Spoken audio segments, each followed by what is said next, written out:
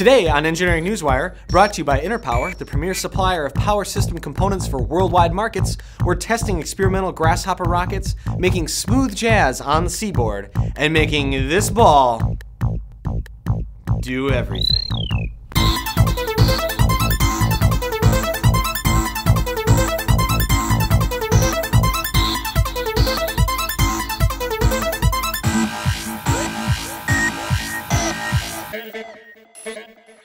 We all know toys are becoming more complex and interactive.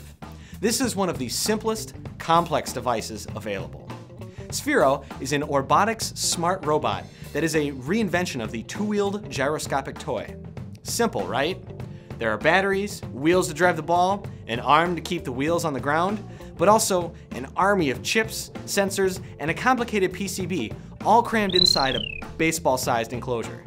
This robotic cat chaser is operated via Bluetooth, utilizing apps on iOS or Android operating systems.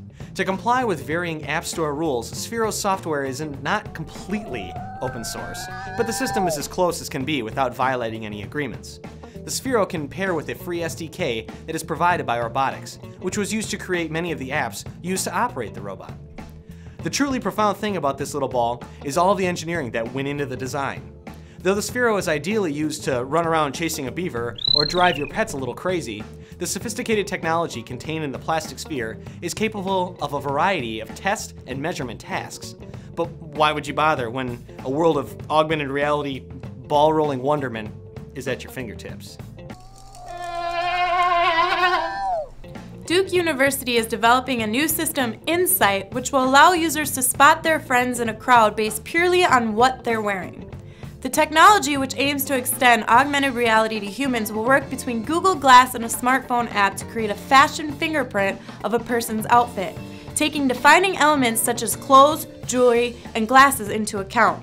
This fingerprint is created by a smartphone app that takes pictures of the user during general use, producing a file detailing the spatial distribution of colors, textures, and patterns of the user.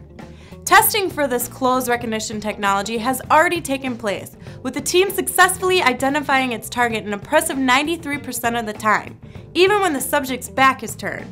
Music technology innovators gathered at the 2013 South by Southwest Music Accelerator in Austin, Texas to unveil their most ambitious new products. Among them was tech startup ROLI, which just so happened to take home first place for its Seaboard Grand. Hopefully, you're a fan of smooth jazz.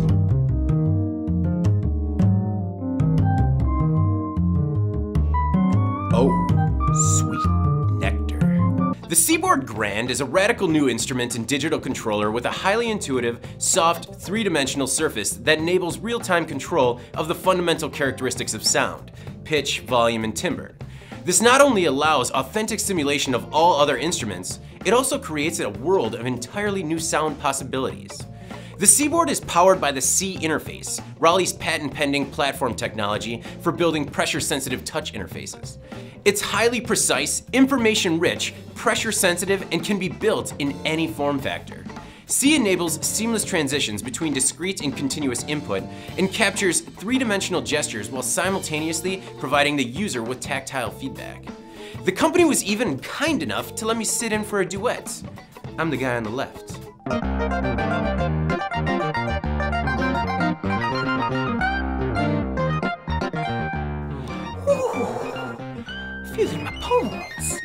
Sometimes, I still impress myself. Until now, most rockets used by space agencies have ended up on the bottom of the ocean. However, Elon Musk believes that recycling rockets is an important part of pushing space exploration forward. In his keynote speech at South by Southwest in Austin, Texas, the SpaceX founder explained how recycling rockets could result in a hundredfold reduction in the cost of space flight, expounding on why his company has opted to pursue developing reusable rockets for its commercial spaceflight program. During his speech, Musk also presented a video demonstrating the latest test flight of the Grasshopper, an experimental reusable rocket that is capable of both vertical takeoff and vertical landing. In the clip, the rocket was able to achieve a height of 262.8 feet before landing itself softly on the ground. Musk strongly believes if humanity is to ever expand beyond Earth and have a self-sustaining base on another planet, then it is very critical that we solve this kind of problem. For more than 100 years, hydroelectric power has been a major source of electricity for many countries.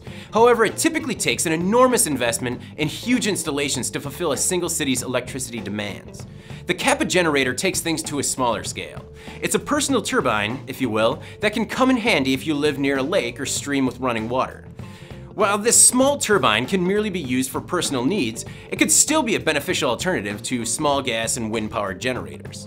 The Cappa generator is capable of producing 250 watts. It may not be able to run your entire house, but if you're looking to power a few lights, a computer, and an internet connection, you may be in business. Although, if my house slipped off the grid, my priorities may be ordered a bit differently. To use this power generator, you simply submerge it in fast-moving water. It relies on a tapered diffuser housing that increases the speed of water flowing through the turbine, boosting the amount of power it can deliver. Unlike other power generators, Cappa doesn't generate noise or exhaust, and oh yeah, it doesn't need to be gassed periodically either. Do you have story ideas? Comment below and we'll cover them in an upcoming episode. For PD&D TV, I'm Chris Fox and this has been your Engineering Newswire.